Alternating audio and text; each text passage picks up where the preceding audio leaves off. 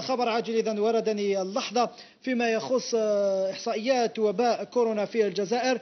إذا الجزائر تتجاوز قيمة أو تتجاوز أقول الألف إصابة بفيروس كورونا. الجزائر تتجاوز عتبة الألف إصابة لأول مرة منذ تفشي هذا الفيروس في العالم وفي الجزائر.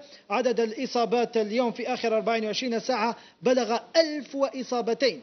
يعني ألف واثنين وهو رقم إذا قياسي. الجزائر لأول مرة نذكر تتجاوز عتبة الألف إصابة بفيروس كورونا.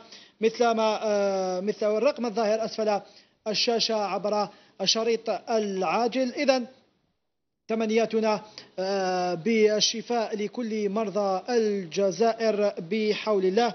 إذا رقم مرعب آخر تبلغه الجزائر في فيروس كورونا. ومنذ تفشي ووصول هذا الفيروس إلى الجزائر إذا نذكر لأول مرة الجزائر تتجاوز عتبة الألف حيث تم تسجيل ألف واثنين ألف وإصابتين مصاب بفيروس كورونا إصابة جديدة في الأربعين وعشرين ساعة الأخيرة.